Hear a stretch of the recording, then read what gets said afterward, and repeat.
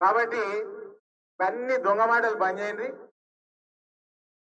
ఈ రాష్ట్రంలో కేసీఆర్ నాయకత్వంలో జరిగే లాస్ట్ ఎన్నిక ఇదే. దీని తర్వాత టిఆర్ఎస్ని బ్రేక్ చేసేది ఏ హరీష్ రావో ఎవడో కాదు. నీ కొడుకే టిఆర్ఎస్ని బ్రేక్ చేస్తాడు. అది బూడు అని నడుస్తా ఉన్నది. పోయి తెచ్చుకోడు పెద్ద మనిషి. కేటీఆర్ కూడా ఎసుకుంటాడు అంటే పిల్లి పులిని చూశాట ఏమనుకుంటాడ దానికి మీసాలు ఉన్నాయి నాకు కూడా మీసాలు ఉన్నాయి. దానికి శారాలు ఉన్నాయి నాకు శారాలు ఉన్నాయి. దానికి గోర్లు ఉన్నాయి నాకు కూడా గోర్లు ఉన్నాయి. ఇంకా నాకు చెట్టు ఎక్కస్తే దానికి ఎక్క రాదు. దానికంటే ఎక్క టాలెంట్ నాకే దానికంటే ఎక్క తెలివి నాకే ఉన్నది అని అనుకుంటుందట. కానీ పులి ఇసిరితే పంజా అంటారు ఇసిరితే గీకిటారు ఇంకా కేటీఆర్ గారికి అది కూడా సోయలేదు. కాబట్టి మీ అందరు కూడా విన్నవించుకుంటా ఉన్నా ఎటువంటి మోసంలో మనం పడవద్దు ఈటల రాజేంద్ర మన కోసం ఇరవై సంవత్సరాల నుంచి ఇక్కడ సేవలు చేస్తున్నాడు. సేవలు చేస్తేనే కదా మీరు ఆరారు సార్లు గెలిపించింది. నేను గెలిపించింది అండి? మీరే కదా గెలిపించింది. అంతే కదా? మళ్ళీ ఆరు సార్లు గెలిపించినప్పుడు ఇప్పుడైతే ఆయనకు అన్యాయం చేసి ఆయన అవమానించిండ్రు. ఏమవుతుంది ఈటల రాజేంద్ర ఏమవుతుంది డబుల్ బెడ్రూమ్ ఇల్లు కట్టించిన అన్నాడు. సిద్దిపేటలో కట్టించినట్టు. ఇప్పుడు ఆడికెళ్ళి వస్తున్నా. ఏం లేవాడ? ఆడ కొన్ని కట్టిర్రు అవి సగం కూలిపోతున్నాయి. అది కూలిపోయే వీడియోలు కూడా చూసిరు కదా అందరు. ఏడ కట్టిరు తెలంగాణలో. నిజామాబాద్ పార్లమెంట్ ఒక్కటి కట్టలేదు ఆడ హైదరాబాద్ ఊరవతల కొన్ని కట్టిర్రు ఏలటి వరకు ఇస్తలేరు. ఏటికి ఇస్తలేరంటే ఆన్సర్ లేదు. ఏడ కూడా డబుల్ బెడ్రూమ్ లేవు రాష్ట్రంలో. దానికి ఎవరు జిమ్మదారు ఎవరు? నరేంద్ర మోడీ రెండు లక్షలు ఇస్తుంటే తీసుకొచ్చి అలా యాభై వేలు లక్ష రూపాయలు వేసి కట్టించే బాధ్యత కాదా? దేశం మొత్తం మూడు కోట్లు అయినప్పుడు ఇక్కడ మూడు లక్షలన్న కావా?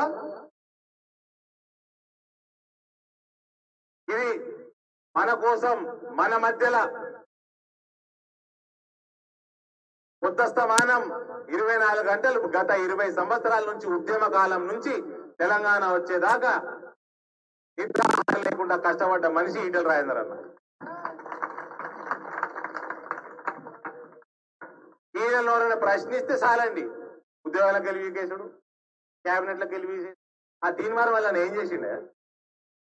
యాభై రోజులు అయితే జైల్లో పెట్టారు తీన్మార్ మల్లన్న ఆ మల్లన్న కూడా గొప్పోడయా నేను మొన్న ఆయన ఎమ్మెల్సీ రెండో స్థానం వస్తే నేను పరిశాన్ అయితే. ప్రతి మండలంలో ఆయనకు ఆర్గనైజేషన్ ఉన్నది. ప్రతి గ్రామంలో ఆయనకు ఆర్గనైజేషన్ ఉన్నది. ఆయన ఇవాళ భారతీయ జనతా పార్టీలకు రాబోతున్నాడు. చాలా ఘన స్వాగతం పలుకుతాం పార్టీని పెంచుతాం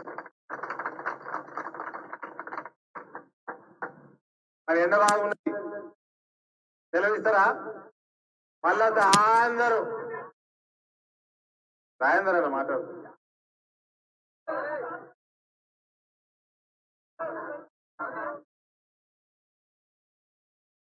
ఏ కేసీఆర్ గ్యాసా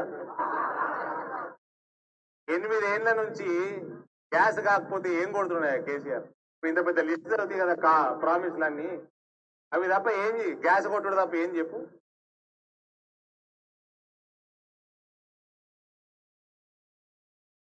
హరీష్ రావు నేను ఈడికెళ్ళి ఇక్కడికి వెళ్ళి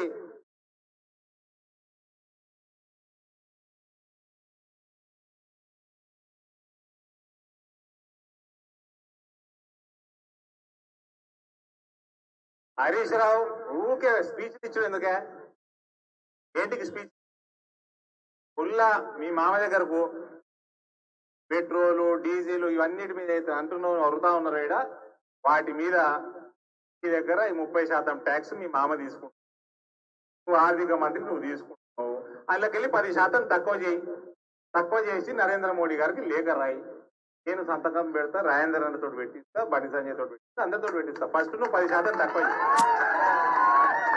ఊరికి ఎందుకు లొలి ఎలక్షన్ రాగానే ఎగురుకుంటూ వస్తాడు ఫకీర్ గాడు. ఒకప్పుడు ఒక తీరు ఒక తీరు ఉంటుండే. వాళ్ళ ఇంట్లో ఎవరైనా గింతో గంతో ముఖం చూడబుద్ధి అయితే అంటే ఉంటుండే. ఈ మధ్య ఫకీర్ గారు తయారయ్యాడు.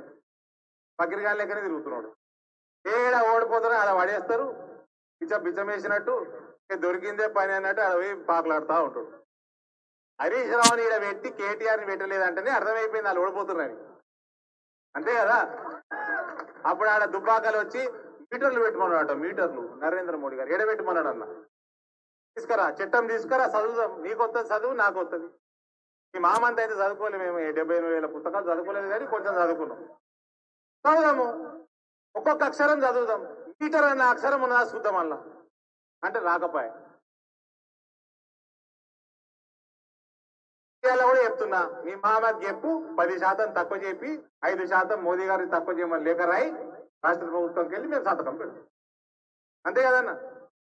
థ్యాంక్ యూ భారత్ మాతాకి. అరవింద్ గారికి